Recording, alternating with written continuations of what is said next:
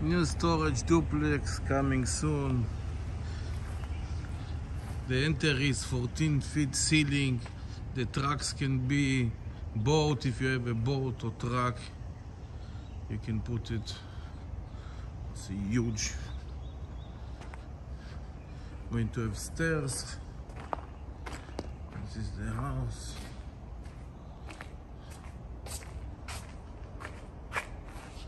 Beautiful.